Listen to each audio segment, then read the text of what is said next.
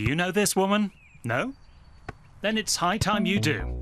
This is Fei Wang, the goalkeeper of the Chinese women's national team and the first Chinese player to make it into the women's Bundesliga. The 25 year old wants to shine on the international stage at the World Cup this summer. Her recent move to Turbine Potsdam is the first step towards that aim.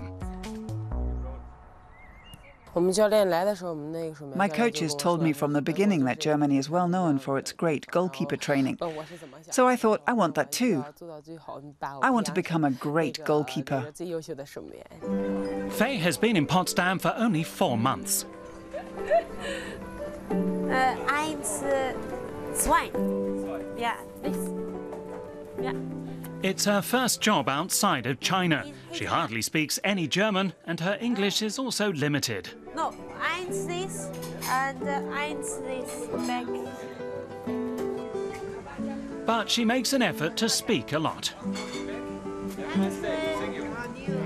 Fei's family is from northeast China. Her mother, who is visiting at the moment, has never been outside that region before.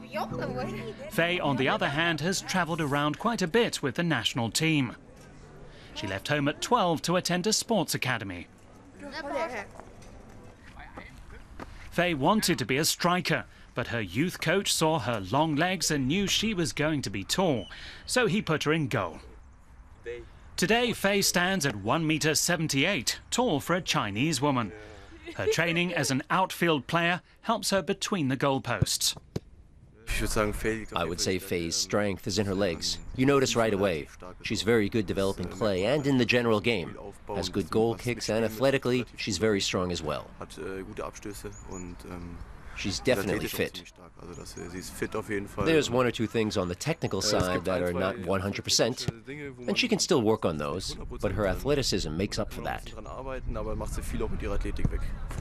This is Bernd Schröder, head coach of Turbine Potsdam. He's a legend in women's football. He's been doing this for 45 years and helped to establish the club. Fei Wang had to get used to his directness.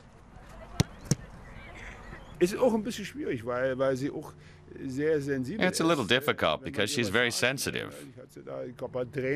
I think there were some tears in training recently. So the goalkeeper's coach took her aside and asked, Are you going to cry or are you going to do something? She didn't understand at first.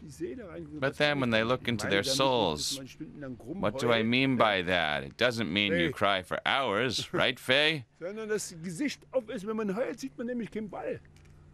But the eyes have to be open because when you cry, you can't see the ball. It's all fine. We made a good acquisition with her. Her mother was here too and cooked for her. It's all fine. Fei learned two things from Schröder right away. Don't be late, and no phone calls on the team bus. She had to sign a book of rules. Sometimes the cultural differences seem huge.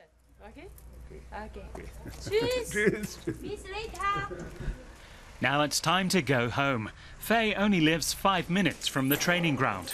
Her mother is waiting for her. But she can't open the door.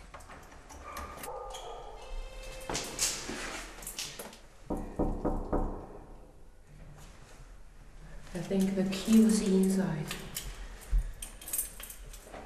Ma! Fei's mother's in Potsdam for a month. I wanted to see what it was like where my daughter lives. In China, Fei's parents have a small restaurant. Today I'm making Chinese dumplings. The filling is made from beef and vegetables. Fei hasn't got used to German cuisine yet. Of course I'm happy when I get home from training and dinner is almost ready.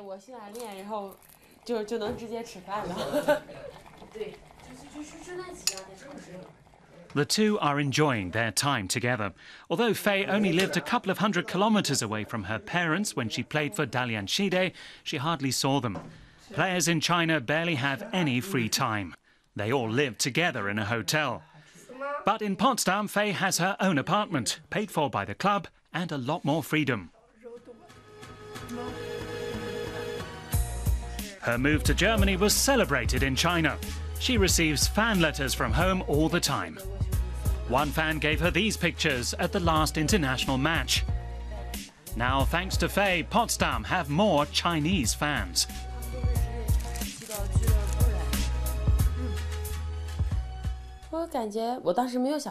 At the first indoor tournament for Potsdam, I won this prize for best goalkeeper. I didn't even know there was such a thing until I heard my name called out. The others said, Go on, you won. I was very excited about it. The German Bundesliga and the Chinese national team. Fei tries to accommodate both. That's why she's attempting to learn German. I study German every day, but I think it's very hard, also in terms of pronunciation. In Chinese, we speak with our tongue, and in German, it's in the throat. The teachers say I should gargle with water to be able to pronounce the R. I always have to practice to get it right. I'll do my best to learn it fast. Turbine Potsdam are an international club. The players come from the US, Denmark, Japan, and Equatorial Guinea, and they learn the essentials together.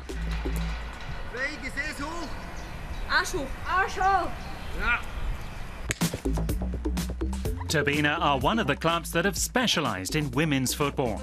They've won the league title six times, the German Cup three times, and the Champions League twice. I think training in the Bundesliga is really the best. The success is based on the promotion of the young players. It's great. Some start at only six years old, I've heard. I see a lot of children in the afternoon, and they train very thoroughly and professionally. That has laid the foundation of the success of German football. I think they do it better than in China. And there's another thing that's different from China. Laughing is allowed in training.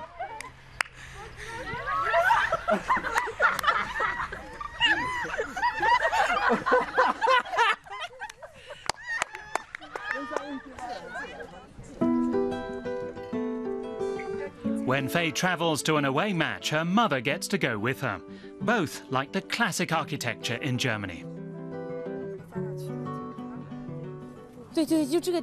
Here, that's where we went.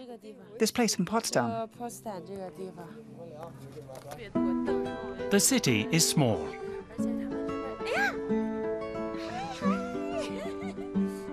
Fei runs into a few teammates in the city. They get together outside of training regularly. Once a week, they cook together.